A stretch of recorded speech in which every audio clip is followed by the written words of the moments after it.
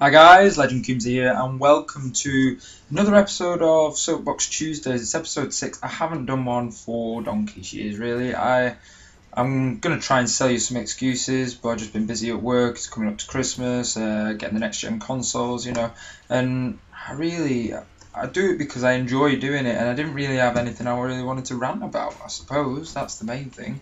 Um, so I decided, and then I've been playing a lot of Call of Duty. I've got brand, joined a brand new clan. They're called Legendary Lions. Check them out. I've been playing with a lot of the guys down there and having a lot of uh, good games and stuff. So hopefully bringing some Call of Duty uh, footage very soon. Um, but that's kind of where the topic of this one goes with Call of Duty. Um, that it, it's a bit of a joke. You know, I've been a hardcore COD fan for years now. I, when I first got my Xbox, I got COD 4, and I bought one every single year. And they're they're a fucking joke, really. Um, the amount of money that they're getting paid, and the amount of money that they're taking off us, and you know, and I will still buy it. Uh, I say it as if like that's me done. I'll still buy it because it's a social thing for me, and I enjoy playing it with people. But you know, they they're still making a piss poor game they're getting a lot of feedback. You know, they're getting a lot of uh, comments from people about what they want to see in the games, what they don't want to see in the games, how to do it. And they are lazy, lazy bastards that they can produce a game and put it on the shelves for us to buy um, on current gen and then next gen as well. And they go, all right, okay, you've bought it once. How about you buy it on the next one again, and we'll charge more.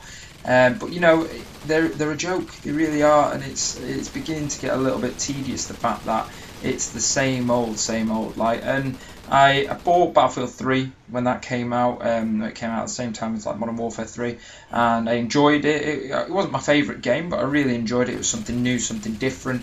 And then you take two years down the line to Battlefield 4, and it's just even better again. And it's got so much guns, so many guns, sorry, and it's got so much going for it with the vehicles, the gameplay, and now it's 60 frames per second on next gen.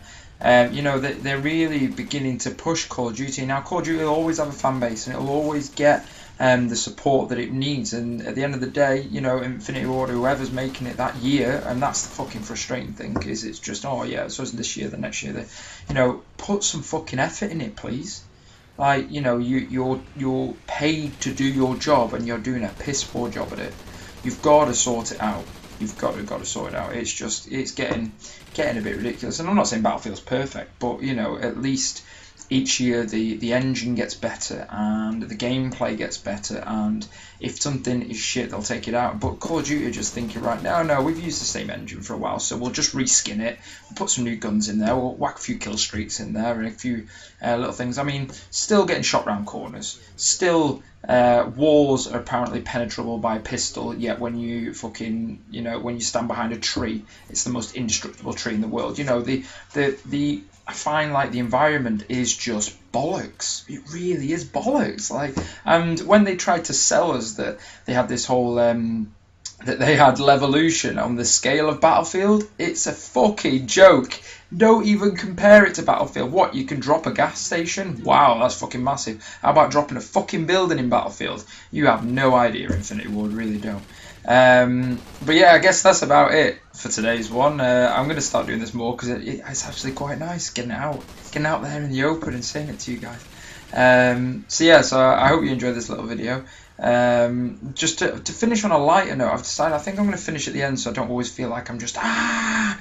Like I think um, for anybody you over in the states and stuff like that, uh, you should check out. You, I don't know if you have I'm a Celebrity, but we just had the final here. I just wanted to say the guy who won it, Kian from Westlife, absolute ledge, hero. That is what our role models should be like nowadays. You know, not footballers or sports people and stuff like that. He is a down to earth, normal, lovely, lovely guy, and that sounds like that I love him to bits. I think he's wicked. I do love him to bits. But just as an lighter note, you know, you should check out some footage of him or check out any interviews with him because he is a, a genuine top top guy. Um, so yeah, that's what I know. That's quite random, but there we go. Uh, I hope you enjoyed this video, guys. Please like, comment, and subscribe, and I'll catch you guys very soon. See you later. Bye bye.